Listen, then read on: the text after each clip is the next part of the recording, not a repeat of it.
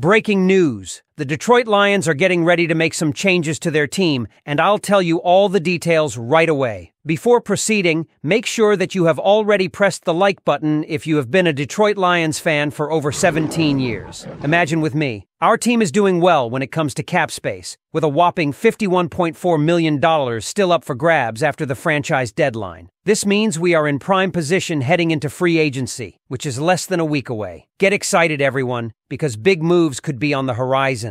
But that is not all. We have some insider information on the influence of none other than Chris Spielman. That's right, our former Lion turned special assistant is making waves behind the scenes, with praise coming from none other than Charles Davis. Spielman's presence in the front office is shaping our team's culture and decisions, and it's about time he gets the recognition he deserves. Now, let's talk about potential free agent targets. Jonathan Greenard and Kendall Fuller are on our radar, and for good reason. These guys can be game changers for our defense, and we're keeping an eye on them as free agency heats up. But wait, there's more. We're not just looking at free agents. We're keeping an eye on the draft as well. With rumors swirling about a potential first round pass rusher like Chop Robinson, excitement levels are through the roof. Could this be the missing piece in our defensive puzzle? Lions fans, get ready to roar. And finally, the moment you've been waiting for. Jerry Jacobs might not be back, folks. After a lackluster performance last season, the Lions are exploring other options at cornerback. It's a difficult decision, but one that could shape the future of our secondary school. Now, I want to hear your opinion, Lions fans. What do you think of these potential moves? Should we go all in on free agency or focus on the draft? Let us know in the comments below, and don't forget to hit the like button and subscribe for more exclusive Lions content.